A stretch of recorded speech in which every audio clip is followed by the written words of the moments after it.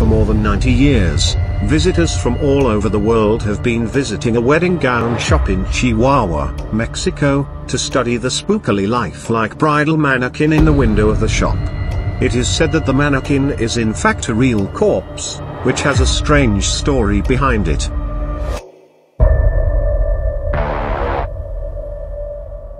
Dressed in bridal wear and exhibited in an otherwise unremarkable storefront window, La Pascualita is not an ordinary mannequin. Local rumor has it that the clothing dummy is actually the well-preserved corpse of the owner's daughter, who died from a toxic spider bite just before her own wedding. There are hundreds of testimonies from people who claim that they have seen her move her eyes, cry, smile and even leave the window on lonely nights. Amazingly, La Pascualita has lived in the La Popular store window for over 90 years. She made her first appearance on the 25th of March 1930, reportedly wearing a gown from the spring and summer collection.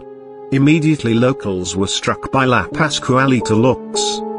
They were also curiously concerned about her uncanny resemblance to the owner Pascuala Esparza, and given the recent passing of her daughter, rumors of a grisly origin instantly began to swirl around the mannequin. Even on close inspection, La Pascualita's skin, hair, hands and even seemingly varicose veins of her legs look very real. But what is the real story of this mannequin except the rumors going around it being a corpse? There are several stories. The most common version says that the owner of the business, Pascualita Esparza, ordered and bought the mannequin from France. Another version also says that the mannequin was brought from Paris, but that Mrs. Esparza acquired it in Mexico City, inside a prestigious store, from which she used to bring fabrics and other stuff that she resold at her store. At first they didn't want to sell her the beautiful wax figure, but she was so in love with the mannequin that she threatened to stop buying her supplies at their store if they didn't sell it to her. So they agreed and Mrs. Esparza took it to her store.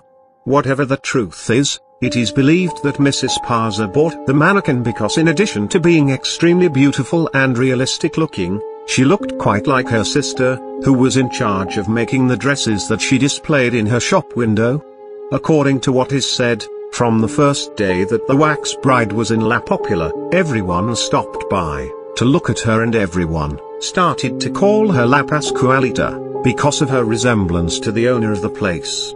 To be honest, the reason why La Pascualita impressed people so much that she became an icon of the time and earned the title of the most beautiful girl in Chihuahua, is that she was different from the other mannequins of the time. She had a better wax finish, her eyes were made of glass, her hair and eyelashes were implants of real hair and eyelashes, and her expression, unlike those of so many inert-looking mannequins, was alive, and reflected emotions as if it were endowed with humanity.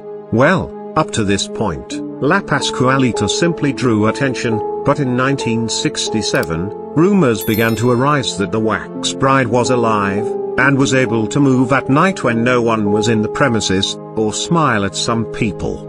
In particular, rumors became more frequent when Pascualita Esparza passed away in 1967, then people appeared saying that La Pascualita followed them with her eyes, that her ghost followed them for a while if they stared at her, or that for a few seconds the little red veins appeared in her eyes, it was even known that some employees who worked at La Popular resigned their position because they saw La Pascualita cry or move, and others who refused to dress her because supposedly greenish veins appeared on her legs. Anyways, La Pascualita has been giving window shoppers the creeps for decades with her eerily lifelike appearance and possible adventures after dark.